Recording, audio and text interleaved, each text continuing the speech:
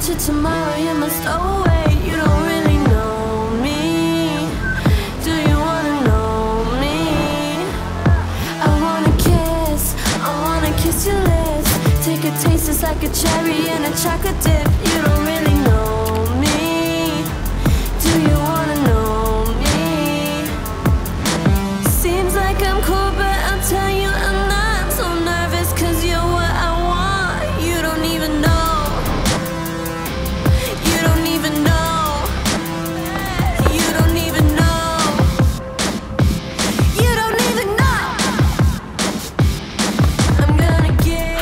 Welcome back to Mayumi TV. If you're new here, my name is Mayumi and just like you, I'm in the journey towards getting it together. So if you're interested in videos about self-improvement, plus size videos included, please don't forget to subscribe and hit the notification bell right beside it so you're updated every time there's a new upload like this one. It is the new year and maybe you are in that zone where you want to spice things up, you want to up your confidence level, or maybe this is something that you've been considering for a really long time. May it be a fashion statement or a form of self-expression. Bottom line is, no matter what your intentions are in considering having your belly button pierced, I'm gonna share with you how the experience has been for me for the past 10 months. So if you're interested, just keep on watching.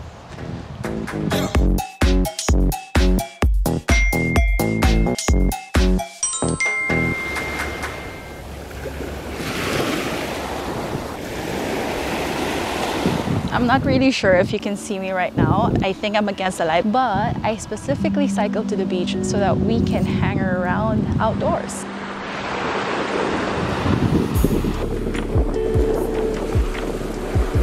So let's get right into it. I do have my notes here. All right, first things first, let me get through the specifics. I had my belly button pierced last year, probably around March, so it's close to 10 months now. Let's go through the basics. I was 32 years old when I had that, which I think is pretty old for someone to consider and actually go through a belly button piercing. Let me go through a quick story before I share the FAQs or the aftercare. I had a joke where I said I was going through midlife crisis because I'm in my 30s and suddenly I had this urge to experiment with my body. I do have tattoos and I went through a phase where I just wanted to experiment. And this phase and this zone is usually what you go through when you're in your teenage years. It's kind of pretty late for me. Let me share why. My generation, there was no social media when I was growing up in my teenage years. Oh no, actually there was Friendster and Multiply, but it wasn't such a huge thing. Internet and smartphones were not a thing yet. So our connectivity is far different from how it is now. And back then, we consume a lot of mainstream media and the celebrities that you would see are this sexy, thin, lean girls. For me, back then, since I didn't see myself on TV or there was no representation that has the same body type as mine. I didn't see myself in these girls, these role models. I just never imagined myself getting a belly button pierced. I could never imagine that I would even wear crop tops in my size and weight right now. But here we are. I'm in my 30s and body inclusivity and body positivity is a huge thing for the entire world thanks to social media and thanks to girls who are a lot more comfortable in their own skin, me included. I mean, that's a process. So if you're not there yet, you'll get there. Hopefully you'll get there. But basically there is this huge movement and we're seeing a lot of thicker girls sporting crop tops or fashion statements such as belly piercing too. So I think that really boosted my confidence because I can finally see myself in these online influencers, celebrities who are very confident in how they look. And along with that came the mindset that, hey, I can rock this belly piercing even if I am chubby, I'm fat, or I have a huge flab. So yeah, there we go. That's what really pushed me into finally taking the plunge. Times have changed and here we are now. 2022, I have my belly button pierced. You know what, let me just try this change. I don't think you can see me. Okay, I think this angle is better. You can see me better. I had mine done in a tattoo shop here in Singapore. It cost me 40 Singapore dollars, which I think is pretty cheap considering that it's very expensive here in Singapore. It includes the piercing as well. And it was a tattoo artist who conducted the piercing for me. And with that being said, that's the number one tip that you have to really follow. You have to go through a professional and consult your doctor if you have some medical concerns or if you have an outie. Please do not ignore this advice. Just go to a professional. Maybe you're still a teenager and you don't have a budget. You can just browse through different places and ask how much it would cost you and look into their reviews as well. I think that would help because again, you are inflicting a wound on your body, so rather not risk it to be honest. I had to learn that the hard way when I think I was 14 and I pierced through my lip just using a safety pin. Uh, thank goodness it didn't get infected, but oh my gosh, that was so dumb.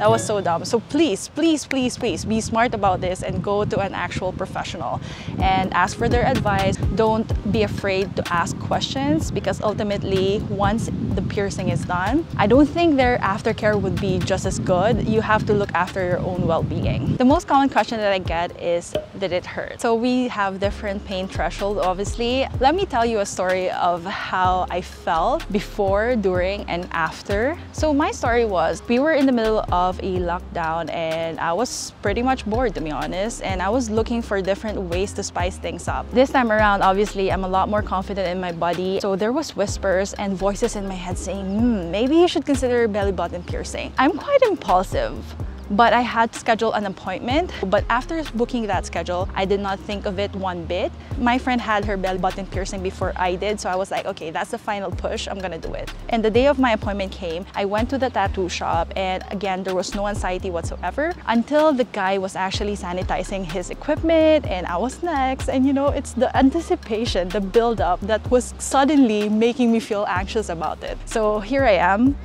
I walked through the technician or the tattoo artist. So we are here. I don't know if I'm scared. I actually wasn't, but my friends are hyping me up, so I'm quite nervous.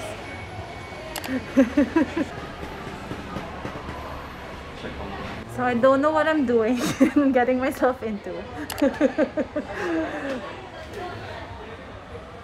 I think we're, there's no backing out. Yeah. Don't even know.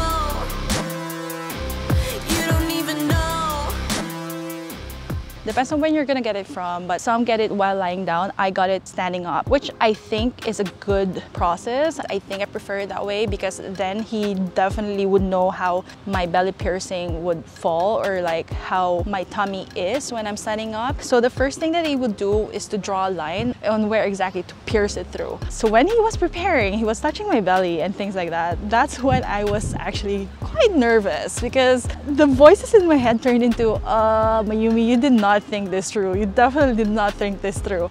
yung ano ko. Oh my god! Oh my god! Oh my god! Oh my god! Wala pa. Want, you don't even know. Oh my god!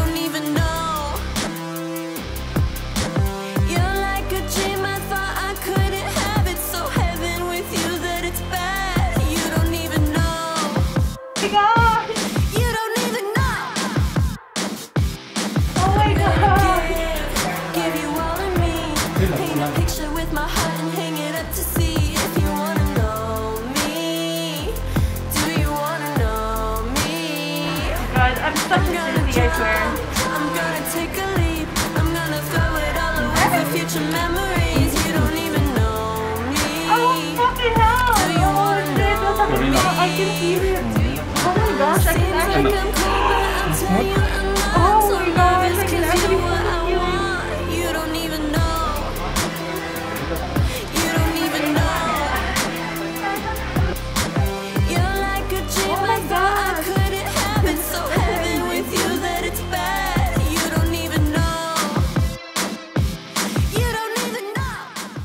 Nice. I have relatively high pain tolerance to be honest. I have tattoos and I don't know. I just, I think, I personally think I have a high pain tolerance. But there he goes. He pierces it through.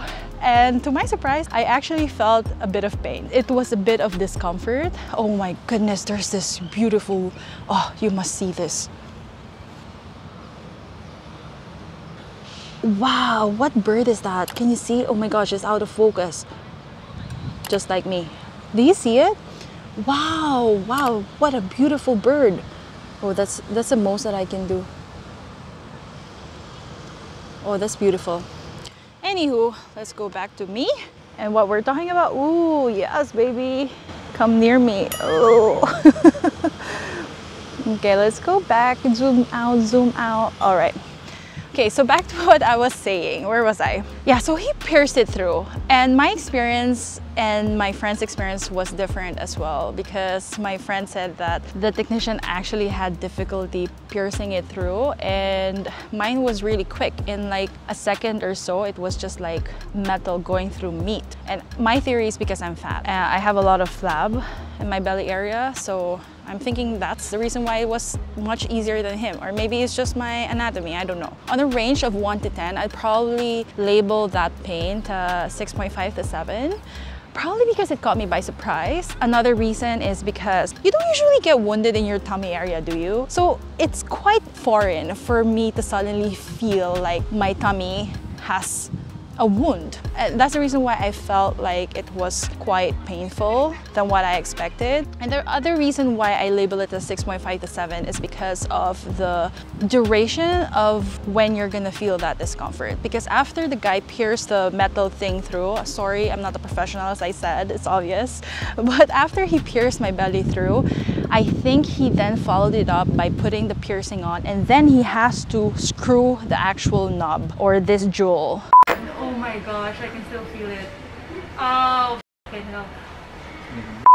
Wala kong i- i-ano ko. Oh, that hurts more. what did I get myself into? Oh my gosh, I'm fucking.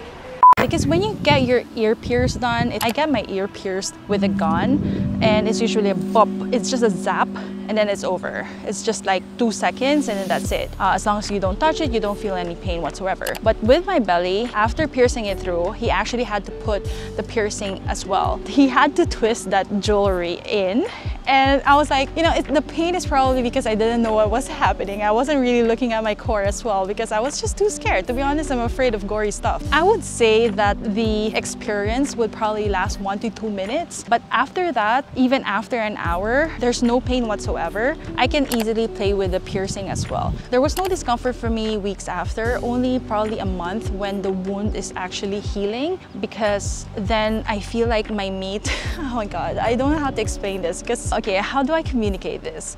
Uh, you know when your wound is fresh, you try not to touch it. It doesn't, you know, uh, out of sight, out of mind. You don't touch it, you don't feel it. There's no pain whatsoever. But then when it's starting to heal up, it feels like it's swollen at some point.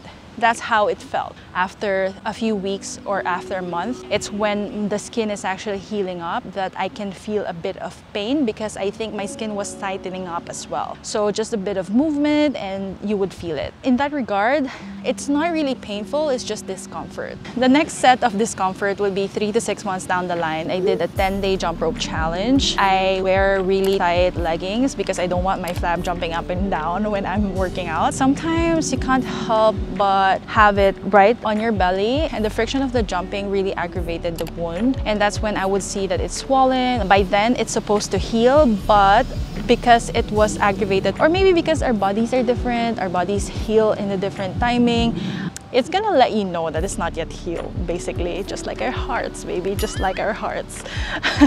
My artist told me that in three months' time, I would be able to change the piercing itself, but three to six months after, and even now, 10 months after, I'm not really confident to change the piercing as well. So that's one tip that you have to consider. Make sure that you are happy with the piercing that they're gonna use with you because I think it's gonna take a long while before you can actually change it. But I'm happy with mine. It's very simple. There are studs and gems, and it's just white, and I'm really happy about it. So I'm happy to keep it. Although, not gonna lie, it's fun to go to jewelry stores and consider having different designs. But for now, I think I'm happy with this. It's just the right amount of bedazzle.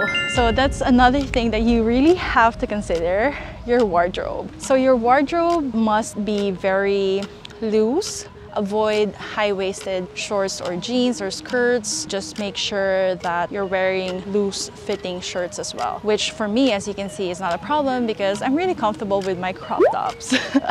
In terms of my workout after getting my belly piercing done, it did not stop me. I still went on my runs, I did my jump rope, and I did my core workout as well. I think as long as you don't purposely disturb your belly area, I think it won't be a problem. So before you get your belly button pierced, think about how your lifestyle is, your everyday clothes, the things that you wear for work, do you have to wear a belt, do you work out? Yeah, things like that. I myself didn't have any issue with my diet. If you are sensitive with certain food like seafood, if that makes you itchy or if it causes allergy, I advise for you to stay away from it. I didn't have a problem in that regard. Now let's talk about preparation.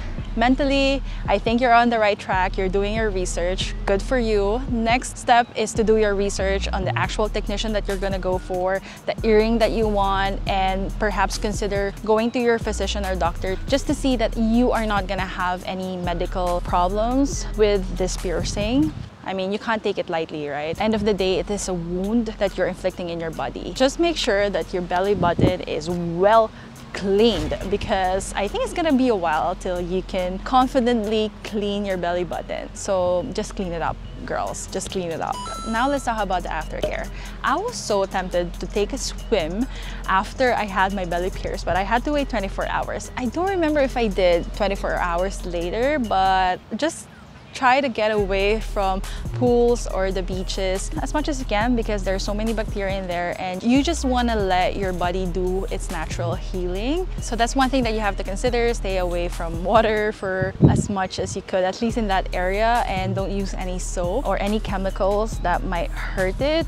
Treat it like a wound because it is. And aside from that, the tattoo artist had some solution that you can spray on your belly button piercing for it to heal better and for you to disinfect it, to clean it, to avoid any infections, but it was too pricey. I think it was around $25 and I said, nah, baby, nah. I paid $40 for this. I'm not gonna pay $25 for the medicine itself. Well, probably that's the wrong mindset, but I was smart enough. You know, you have to think you know, we, we are smart with our money. So what I did was I went to my local pharmacy and I bought an antiseptic. It just costs $7. And since it's not a spray, I just use a cotton tip and try to clean the belly area with it. I clean the earring and my skin as well. Yeah, aside from that, I don't do much. I think it's healing well because I think our bodies have its natural way of healing anyway. So as long as you try to stay away from foreign objects, foreign things, foreign chemicals, things like that, and I think it should be fine. But try to get to know your body as well. If you have difficulty healing, then maybe that's something that you have to take into consideration. I was under the impression that I could change the piercing within three months, but actually I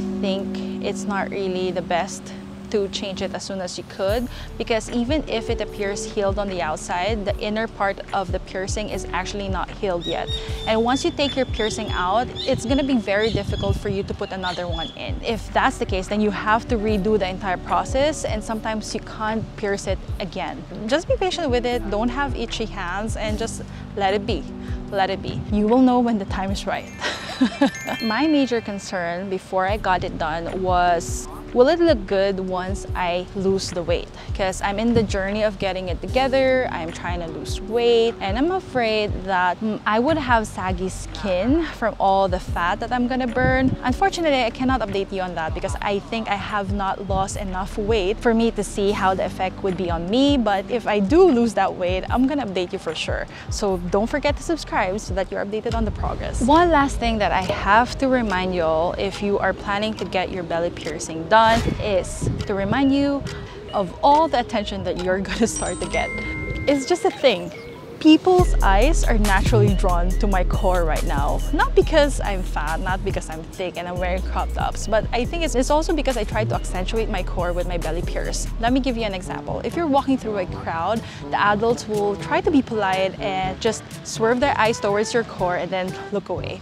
But it's the kids that would blatantly stare at you. And the worst part is kids are shorter than you are, obviously, right? It would be on their eye level, so they'll be just like staring at you. And I'm like, because I think they're attracted to shiny things. I think no matter what age, our eyes gravitate towards anything that has light or reflects light. With that being said, it has boosted my confidence in a whole new level. I'm owning it. I love it. It's like magic.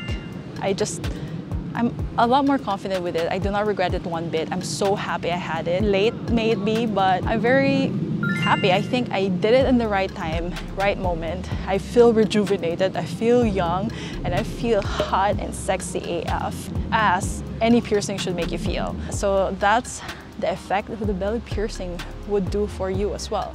Just keep that in mind. If you're insecure about your belly, you don't have to show it off anyway. It could be something that you do for yourself. If you don't want much attention, cover it up. Again, I don't know what your intentions are for having it. All I can say is that I'm pretty glad that I did. I think it, from a scale of like say like I'm on an 8 on a hot scale, I think I'm on a 12 right now because of it too. okay. yeah, we're all about body positivity in this channel. We're all about boosting each other's confidence and hype me up crew. So if you're looking for a sign to have it done, I think this is it. Get it done now.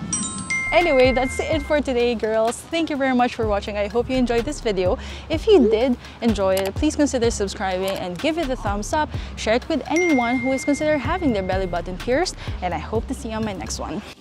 Kisses. I wanna kiss. I wanna Thank you. Take a taste, it's like a cherry and a chocolate dip. You don't really oh my God. know me. Do you wanna know me? Seems like I'm cool, but I'll tell you.